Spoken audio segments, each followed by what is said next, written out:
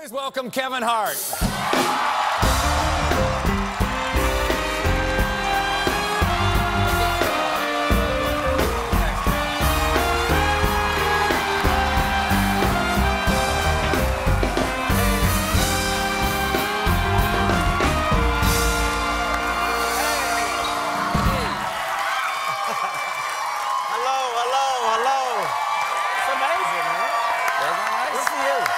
People are very excited about Kevin. Hart.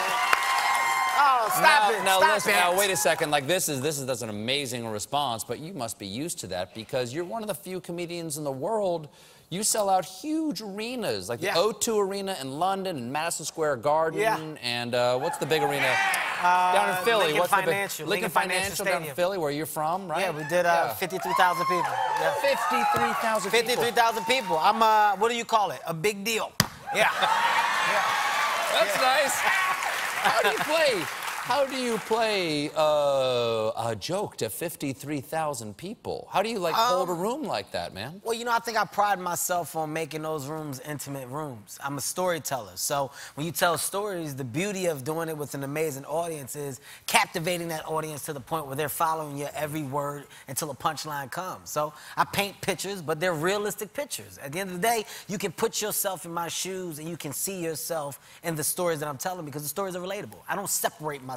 That's why people love me, because I'm one of you guys. You know? I don't, I don't separate myself. It's good to know. It's Yeah. good to know why people love you. I wouldn't Yeah. want that to be a mystery. No, no, no. You have to Yeah. you have to make sure that you never lose sight of reality. And Mm-hmm. I think with regardless of any success that you have, you have to maintain that connection. You really think you can hold on to reality because, like, you're 100%. you're so huge. You, you hit 30 million people on Twitter today, right? Everybody danced around the world. Yeah.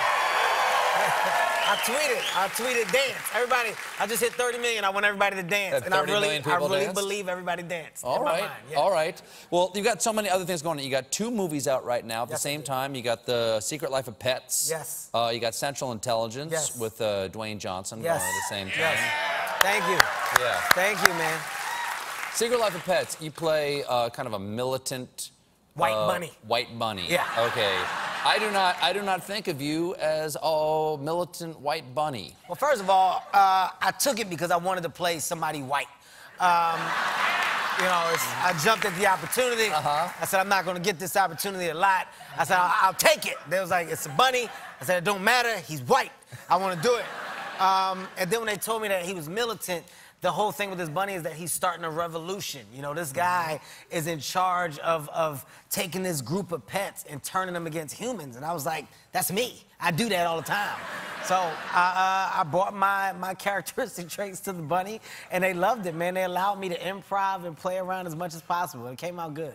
Now, do you, you have pets of your own? I do have pets. I have two dogs. I have, Do you think uh, that when you're not around, that they are doing the kind of things these animals are doing? A Do you- hundred percent. They have a secret life. A hundred percent. Um, I have a Doberman Pinscher and I have a Min Pin. So What's a um, Min Pin? A Min Pin is a small version of what the big dog is. So.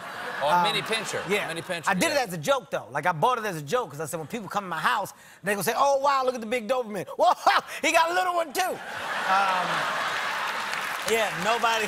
Do people do that? No, nobody No one does it. that? Nobody has done it, and it's pissed me off. Uh, it's made me feel like the little one was a waste of money. Nobody gets it. Like you, you're there for a punchline. That's the only reason why you're there, is to be a punchline. And God, I hope- nobody. I, hope, that dog's not watching right now. No, that's That'd be really dog- depressing to find out that you were just there for a punchline. Well, that's the dog that's doing stuff when I'm gone. That dog cooked potato salad one day. I know he did because, listen, I don't know how to make potato salad, and my lady can't cook. I came home, potato salad was on the table. Who cooked the potato salad?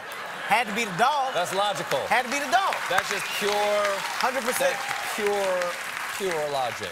Yeah. That's my dogs, though, man. I love them. I'm, I've become a dog guy.